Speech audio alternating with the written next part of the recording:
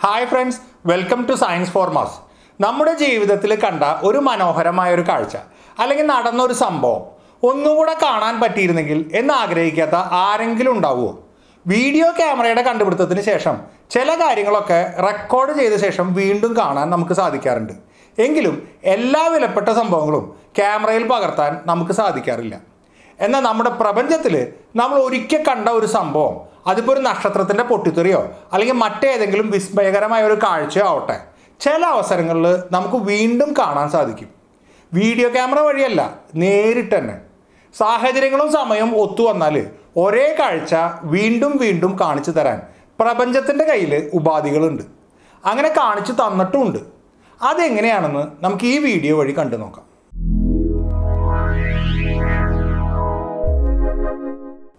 നമ്മുടെ സൂര്യൻ ഒരു ശരാശരി മാസമുള്ള ഒരു നക്ഷത്രമാണ്. ഇത്തരം നക്ഷത്രങ്ങളുടെ ജീവിതാന്ത്യം എങ്ങനെയായിരിക്കുന്നു? കഴിഞ്ഞ വീഡിയോയിൽ നമ്മൾ കണ്ടിരുന്നു.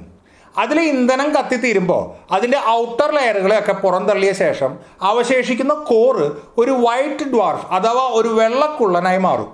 അങ്ങനെ പുറന്തള്ളപ്പെടുന്ന വസ്തുക്കൾ കൊണ്ടുണ്ടാക്കിയതാണ് ഒരു പ്ലാനറ്ററി നെബുല. ജെയിംസ് വെബ് പുറത്തുവിട്ട ഇമേജുകളിലെ ഒന്നായ സദേൺ റിംഗ് നെബുല ഇത്തരത്തിലുള്ള ഒരു പ്ലാനറ്ററി നെബുലയാണ്. ഈ വീഡിയോ കണ്ടാൽ ഈ മൊത്തം സംഭവം വളരെ പെട്ടെന്ന് നടക്കുന്ന ഒരു പ്രക്രിയ ആയിട്ട് തോന്നുമെങ്കിലും ആയിരക്കണക്കിനോ ഈവൻ ലക്ഷക്കണക്കിനോ വർഷങ്ങൾ കൊണ്ട് നടക്കുന്ന ഒരു കാര്യമാണിത്. ഒരു മനുഷ്യ ആയുസ കൊണ്ടൊന്നും കണ്ടു തീർക്കാൻ പറ്റുന്ന ഒരു കാഴ്ചയല്ല ഇത്. എന്നാൽ സൂര്യനേക്കാൾ പല മടങ്ങ് മാസം കൂടുതലുള്ള വലിയ നക്ഷത്രങ്ങളുടെ കാര്യം അങ്ങനെയല്ല.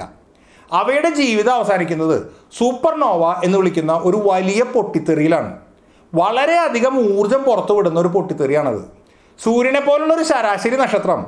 അതിന്റെ ആയുഷ്കാലം മുഴുവനും കൊണ്ട് പുറത്തുവിടുന്ന അത്രയും ഊർജം ഒരു ഭീമൻ നക്ഷത്രത്തിന്റെ പൊട്ടിത്തെറിയിൽ പുറത്തു വരും വിദൂരമായ ഒരു ഗാലാക്സിയിൽ ഒരു നക്ഷത്രത്തിന് സൂപ്പർനോവ സംഭവിക്കുന്നുണ്ടെങ്കിൽ ആ മൊത്തം ഗാലാക്സിയേക്കാൾ പ്രകാശം ആ സൂപ്പർനോവയ്ക്ക് ഉണ്ടാവും. അത്രയ്ക്ക് പ്രകാശമാനവും വയലന്റുമായ പൊട്ടിത്തെറിയാണ് സൂപ്പർനോവ. ഇത്തരം സൂപ്പർനോവകളുടെ ദൈർഘ്യം ആയിരക്കണക്കിന് വർഷങ്ങളൊന്നും ഉണ്ടാവാറില്ല. ഏതാനും ദിവസങ്ങളോ ഏറിപ്പോയ രണ്ടോ മൂന്നോ മാസങ്ങളോ വരെയേ അത് നീണ്ടു നിൽക്കൂ. അതുകൊണ്ട് തന്നെ നമുക്ക് കാണാൻ കഴിയുന്ന ഒരു കാലയളവിൽ നടക്കുന്ന ഒരു സംഭവമാണ് സൂപ്പർനോവ. ഇത്തരമൊരു സൂപ്പർനോവ മിൽക്കി വേ ഗാലക്സിക്കകത്ത് സൗരയൂഥത്തിന് അടുത്താണ് നടക്കുന്നതെങ്കിൽ ഭൂമിയിലെ ജീവനെ അത് കാര്യമായിട്ട് ബാധിക്കും. എന്നാൽ ഒരുപാട് ദൂരെയാണ് നടക്കുന്നതെങ്കിൽ അത് മനോഹരമായ ഒരു കാഴ്ച തന്നെയായിരിക്കും. പക്ഷേ ഇത്തരം സൂപ്പർനോവകൾ വളരെ ചുരുക്കമായിട്ടേ കാണാൻ കിട്ടാറുള്ളൂ. നഗ്നനേത്രങ്ങൾ കൊണ്ട് ഏറ്റവും അവസാനമായിട്ട് കണ്ട സൂപ്പർനോവ ആയിരത്തി അറുന്നൂറ്റി നാലിൽ നടന്ന കെപ്ലർ സൂപ്പർനോവയാണ്. പ്രപഞ്ചത്തിലെ കോടിക്കണക്കിന് വരുന്ന ഗാലാക്സികളിൽ സൂപ്പർനോവകൾ നടക്കാറുണ്ടെങ്കിലും അതൊന്നും നഗ്നനേത്രങ്ങൾ കൊണ്ട് കാണാൻ കഴിയാറില്ല. അത്തരം സൂപ്പർനോവകൾ ടെലിസ്കോപ്പുകൾ ഉപയോഗിച്ച് മാത്രമേ കാണാൻ കഴിയൂ. ഈ പ്രപഞ്ചത്തിലുള്ള എല്ലാ ഗാലാക്സികളെയും ഒരേ സമയം ടെലിസ്കോപ്പുകൾ ഉപയോഗിച്ച് നോക്കുകയും അസാധ്യമാണ്. അപ്പോൾ ഏത് ഗാലാക്സിയിലാണ് സൂപ്പർനോവ നടക്കാൻ പോകുന്നതെന്ന് നമ്മൾ നേരത്തെ കൂട്ടി അറിയണം.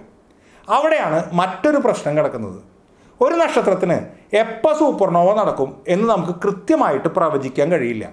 ഒരു നക്ഷത്രത്തിന്റെ വലിപ്പവും മാസും നോക്കി അടുത്ത ആയിരം വർഷത്തിലോ പതിനായിരം വർഷത്തിലോ ആ നക്ഷത്രത്തിന് സൂപ്പർനോവ സംഭവിക്കാം എന്ന് പറയാമെന്നല്ലാതെ കൃത്യമായിട്ടൊരു വർഷമോ മാസമോ പ്രവചിക്കാൻ നമുക്ക് പറ്റില്ല. ഇതിന് കാരണം ഒരു നക്ഷത്രത്തിന്റെ ആയുസ് കോടിക്കണക്കിന് വർഷങ്ങളാണ്. അതിനെ അപേക്ഷിച്ച് ആയിരം വർഷങ്ങൾ തന്നെ ഒരു വളരെ ചെറിയ കാലയളവാണ്. അപ്പോൾ അതിലും കൂടുതൽ കൃത്യതയോടെ ഒരു നക്ഷത്രത്തിന്റെ അന്ത്യം പ്രവചിക്കുക അസാധ്യമാണ്. അപ്പോൾ പിന്നെ സൂപ്പർനോവ സംഭവിക്കാൻ പോകുന്ന ഗാലാക്സിക്ക് നേരെ ടെലസ്കോപ്പ് നേരത്തെ കൂട്ടി ഫോക്കസ് ചെയ്ത് വെക്കാൻ സാധിക്കില്ല. എങ്കിലും ചിലപ്പോഴൊക്കെ ഭാഗ്യത്തിന് ടെലസ്കോപ്പ് ഫോക്കസ് ചെയ്ത് വെച്ചിരിക്കുന്ന ഗാലാക്സിയിൽ തന്നെ സൂപ്പർനോവ നടക്കാറുണ്ട്. അങ്ങനെ കുറച്ച് സൂപ്പർനോവകളൊക്കെ റെക്കോർഡ് ചെയ്യപ്പെട്ടിട്ടുണ്ട്.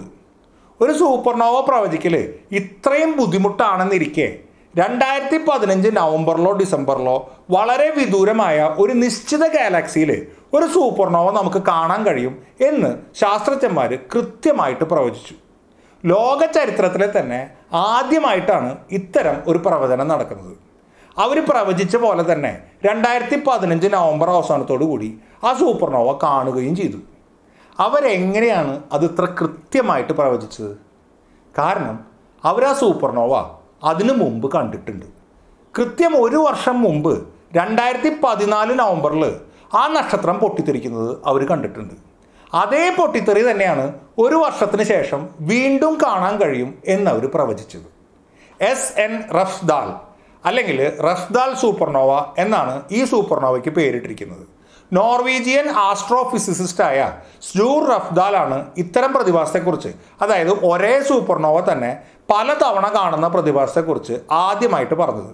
അതുകൊണ്ട് അദ്ദേഹത്തിന്റെ പേരാണ് ആ സൂപ്പർനോവയ്ക്ക് ഇട്ടത്. അങ്ങനെ ഒരു പ്രതിഭാസം എന്തെങ്കിലും കാണുകയാണെങ്കിൽ അതുപയോഗിച്ച് നമ്മുടെ പ്രപഞ്ചത്തിന്റെ വികാസത്തിന്റെ തോത് കൃത്യമായിട്ട് കണ്ടുപിടിക്കാൻ കഴിയും എന്ന് അദ്ദേഹം പറഞ്ഞിരുന്നു. പക്ഷേ ഇത്തരമൊരു പ്രതിഭാസം നമ്മൾ കാണാൻ രണ്ടായിരത്തി പതിനഞ്ച് ആകേണ്ടി വന്നു എന്ന് മാത്രം. റഫ്ദാൽ സൂപ്പർനോവ നടക്കുന്നത് നമ്മളിൽ നിന്നും വളരെ ദൂരെയുള്ള ഒരു ഗാലക്സിയിലാണ്. ആ ഗാലക്സിയിൽ നിന്നുള്ള പ്രകാശം നമ്മുടെ അടുത്ത് എത്താൻ നയൻ പോയിന്റ് ഫോർ ബില്യൺ അതായത് തൊള്ളായിരത്തി നാൽപ്പത് കോടി വർഷങ്ങൾ എടുക്കുന്നുണ്ട്. സ്വാഭാവികമായും ഈ സൂപ്പർനോവ യഥാർത്ഥത്തിൽ നടന്നത് തൊള്ളായിരത്തി നാൽപ്പത് കോടി വർഷങ്ങൾക്ക് മുമ്പാണ്. ഈ ഗാലക്സിയെ നമ്മൾ കാണുന്നത് മറ്റൊരു ഗാലക്സി കൂട്ടത്തിന്റെ ഉള്ളിക്കോടെയാണ്. ആ ഗാലക്സി കൂട്ടത്തിന്റെ പേരാണ് M A C S J one one four nine plus two two two three തൽക്കാലം ചുരുക്കത്തിൽ എം എ സി എസ് എന്ന് വിളിക്കാം. എം എ സി എസ് എന്ന ഗാലക്സി കൂട്ടത്തിൽ നിന്നുള്ള പ്രകാശം നമ്മുടെ അടുത്ത് എത്തുന്നത് അഞ്ച് ബില്യൺ വർഷങ്ങൾ കൊണ്ടാണ്. അഥവാ അഞ്ഞൂറ് കോടി വർഷങ്ങൾ കൊണ്ട്. അതായത് സൂപ്പർനോവ നടന്ന ഗാലക്സിയുടെയും നമ്മുടെയും ഏകദേശം മധ്യത്തിലാണ് ഈ എം എ സി എസ് എന്ന ഗാലക്സി കൂട്ടുള്ളത്. ഈ ഗാലക്സി കൂട്ടത്തിന്റെ ശക്തമായ ഗ്രാവിറ്റി മൂലം സൂപ്പർനോവ നടന്ന ഗാലക്സിക്ക് ഗ്രാവിറ്റേഷണൽ ലെൻസിങ് സംഭവിക്കുന്നുണ്ട്. ഇതിന്റെ ഫലമായി ആ ഗാലക്സിക്ക് കുറച്ച് മാഗ്നിഫിക്കേഷൻ സംഭവിക്കുന്നുണ്ട്. അങ്ങനെയാണ് നമുക്ക് ഈ പിറകിലുള്ള ഗാലക്സിയെ കാണാൻ തന്നെ കഴിയുന്നത്. എന്താണ് ഗ്രാവിറ്റേഷണൽ ലെൻസിങ് എന്നും അതുമൂലം ഉണ്ടാകുന്ന എഫക്റ്റുകൾ എന്തൊക്കെയാണെന്നും വളരെ ചുരുക്കത്തിൽ ജെയിംസ് വെബ് പുറത്തുവിട്ട ആദ്യത്തെ ഇമേജിനെ കുറിച്ചുള്ള എന്റെ വീഡിയോയിൽ പറഞ്ഞിരുന്നു. അതുകൊണ്ട് ഞാനത് ഇവിടെ ആവർത്തിക്കുന്നില്ല. എം എ സി എസ് എന്ന ഗാലക്സി കൂട്ടത്തിന്റെ ഗ്രാവിറ്റി മൂലം അതിന്റെ പിറകിലുള്ള ഒരുപാട് ഗാലാക്സികൾക്ക് ലെൻസിങ് സംഭവിക്കുന്നുണ്ട്. ഗ്രാവിറ്റേഷണൽ ലെൻസിങ് മൂലം പിറകിലുള്ള ഗാലാക്സികൾക്കൊക്കെ കാഴ്ചയ്ക്ക് എന്തൊക്കെ വ്യത്യാസങ്ങളാണ് സംഭവിക്കുന്നതെന്ന് പഠിക്കുകയായിരുന്നു ഒരു സംഘം ശാസ്ത്രജ്ഞരുടെ ദൗത്യം. അത് പഠിക്കുന്നത് വഴി ലെൻസിങ് സംഭവിച്ച ഗാലാക്സികളുടെ വികലമായ ഇമേജുകൾ നേരെയാക്കാനും ലെൻസിങ് മൂലമുള്ള മാഗ്നിഫിക്കേഷന്റെ മാക്സിമം ഗുണം നമുക്ക് അനുകൂലമായിട്ട് ഉപയോഗിക്കാനും കഴിയും. അതിനുവേണ്ടി അവർ ആ ഗാലാക്സി കൂട്ടത്തിലുള്ള പദാർത്ഥവും അതിന്റെ മാസും എങ്ങനെ എവിടെയൊക്കെയാണ് ഡിസ്ട്രിബ്യൂട്ട് ചെയ്ത് കിടക്കുന്നത് എന്ന് പഠിക്കുകയായിരുന്നു. ഇതുവഴി ആ ഗാലാക്സി ക്ലസ്റ്ററിന്റെ ഗ്രാവിറ്റേഷണൽ ഫീൽഡിന്റെ കിടപ്പ് എങ്ങനെയാണെന്നും മനസ്സിലാക്കി. ഇതിനുവേണ്ടി ആ ക്ലസ്റ്ററിന്റെ ഒരുപാട് ഡാറ്റ അവർ ശേഖരിച്ചു വെച്ചിരുന്നു. അങ്ങനെ ഇരിക്കുമ്പോഴാണ് യാദൃച്ഛികമായിട്ട് രണ്ടായിരത്തി പതിനാല് നവംബറിൽ അവർ ആദ്യമായി ആ സൂപ്പർനോവ കാണുന്നത്. ആ സൂപ്പർനോവയെക്കുറിച്ച് പഠിച്ചതിൽ നിന്നും അത് പിറകിലുള്ള ഏത് ഗാലാക്സിയിൽ നടന്നതാണെന്നും ആ ഗാലാക്സിയിലേക്കുള്ള ദൂരം എത്രയാണെന്നും അവർക്ക് മനസ്സിലായി. ഈ ഡാറ്റകളൊക്കെ വെച്ച് കണക്ക് കൂട്ടിയാണ് എം എ സി എസ് എന്ന ഗാലാക്സി ക്ലസ്റ്ററിന്റെ മറ്റൊരു ഭാഗത്ത് ഒരു വർഷം കഴിഞ്ഞ് ഇതേ സൂപ്പർനോവ വീണ്ടും കാണാൻ സാധിക്കും എന്ന് അവർ പ്രവചിച്ചത്. അവർ പ്രവചിച്ച പോലെ തന്നെ രണ്ടായിരത്തി പതിനഞ്ചിൽ അവരത് കാണുകയും ചെയ്തു.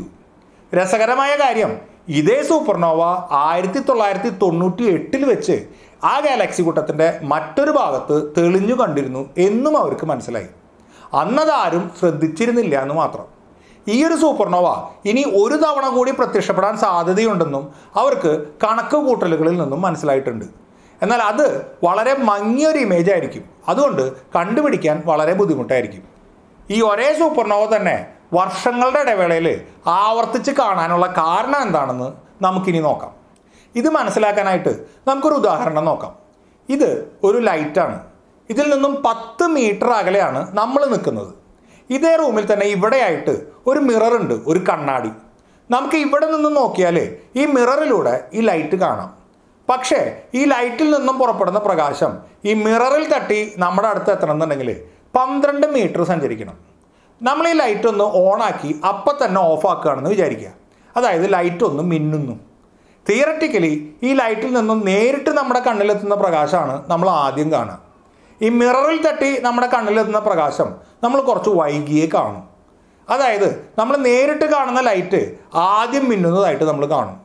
കണ്ണാടിയിലുള്ള ലൈറ്റിന്റെ ഇമേജ് മിന്നുന്നത് കുറച്ച് കഴിഞ്ഞേ നമ്മൾ കാണും. പക്ഷേ പ്രകാശത്തിന്റെ വേഗം വളരെ കൂടുതലായതുകൊണ്ട് നമ്മുടെ പ്രാക്ടിക്കൽ ലൈഫിൽ ഈ ഒരു സമയ വ്യത്യാസം വളരെ ചെറുതാണ്. നമ്മൾ ഈ വ്യത്യാസം അറിയാറില്ല. എന്നാൽ ഈ ലൈറ്റ് ഇരിക്കുന്നത് നമ്മളിൽ നിന്നും പത്ത് പ്രകാശവർഷം അകലെയാണെന്ന് വിചാരിക്കുക. അങ്ങനെയാണെങ്കിൽ ആ മിററിൽ തട്ടി നമ്മുടെ അടുത്തെത്തുന്ന പ്രകാശത്തിന് പന്ത്രണ്ട് പ്രകാശവർഷത്തെ ദൂരം സഞ്ചരിക്കേണ്ടതായിട്ട് വരും. അപ്പോൾ ഈ ലൈറ്റ് ഒന്ന് മിന്നിയാൽ ആ പ്രകാശം നേരിട്ട് നമ്മുടെ അടുത്ത് എത്താൻ പത്ത് വർഷങ്ങൾ എടുക്കും. എന്നാൽ അതേ പ്രകാശം മിററിൽ തട്ടി നമ്മുടെ അടുത്ത് എത്താൻ പന്ത്രണ്ട് വർഷങ്ങൾ എടുക്കും. ആ ഒരു സാഹചര്യത്തിൽ നേരിട്ടുള്ള പ്രകാശം കണ്ട ശേഷം രണ്ട് വർഷങ്ങൾക്ക് ശേഷമാണ് മിററിൽ തട്ടി വരുന്ന പ്രകാശം നമ്മൾ കാണുക. അതായത് നമ്മൾ നേരെ നോക്കുമ്പോൾ കാണുന്ന ലൈറ്റ് മിന്നുന്നത് കണ്ട ശേഷം രണ്ട് വർഷങ്ങൾക്ക് ശേഷമാണ് കണ്ണാടിയിലുള്ള ലൈറ്റ് മിന്നുന്നതായിട്ട് നമ്മൾ കാണുക. ഇനി കുറച്ചുകൂടെ ദൂരെ മാറി മറ്റൊരു കണ്ണാടി ഉണ്ടെന്ന് വിചാരിക്കുക. അതിൽ തട്ടി നമ്മുടെ അടുത്ത് എത്തുന്ന പ്രകാശത്തിന് പതിനഞ്ച് പ്രകാശ വർഷങ്ങളുടെ ദൂരം സഞ്ചരിക്കണം. അങ്ങനെയാണെങ്കിൽ ആ പ്രകാശം നമ്മുടെ അടുത്ത് പതിനഞ്ച് വർഷങ്ങൾക്ക് ശേഷമായിരിക്കും എത്തുക. അപ്പോൾ ആ മിററിലുള്ള ലൈറ്റ് മിന്നുന്നത് നമ്മൾ മൂന്ന് വർഷങ്ങൾ കൂടെ കഴിഞ്ഞേ കാണും. അങ്ങനെ ഒരു ലൈറ്റ് ഒരു തവണ മിന്നിയത് നമ്മൾ വർഷങ്ങളുടെ ഇടവേളയിൽ മൂന്ന് തവണ കാണും. ഏകദേശം ഇത് തന്നെയാണ് സൂപ്പർനോവയ്ക്കും സംഭവിച്ചിരിക്കുന്നത്. ഇവിടെ മിററുകളായിട്ട് ആക്ട് ചെയ്തിരുന്നത് ഇടയിലുള്ള എം എ സി എസ് എന്ന ഗാലാക്സി കൂട്ടത്തിന്റെ ഗ്രാവിറ്റി ആണെന്ന് മാത്രം. സൂപ്പർനോവ നടന്ന ഗാലാക്സിയിൽ നിന്നും പുറപ്പെടുന്ന പ്രകാശം എല്ലാ ദിശയിലും പരക്കുന്നുണ്ട്. അങ്ങനെയുള്ള പ്രകാശം ഈ ഗാലക്സി ക്ലസ്റ്ററിന്റെ എല്ലാ ഭാഗത്തുകൂടെയും കടന്നു പോകുന്നുണ്ട്. അങ്ങനെ കടന്നു പോകുമ്പോൾ ആ പ്രകാശം ഈ ഗാലക്സി ക്ലസ്റ്ററിന്റെ ഗ്രാവിറ്റി മൂലം വളയും. അങ്ങനെ വളയുന്ന പ്രകാശരശ്മികളിൽ ചിലത് നമ്മുടെ ടെലസ്കോപ്പിൽ കൂടി കടന്നു പോകും. ഏതൊക്കെ രശ്മികളാണോ നമ്മുടെ ടെലസ്കോപ്പിൽ പതിക്കുന്നത് ആ ഭാഗത്തൊക്കെ നമുക്ക് ഈ ഗാലക്സിയുടെ ഇമേജ് കാണാൻ കഴിയും.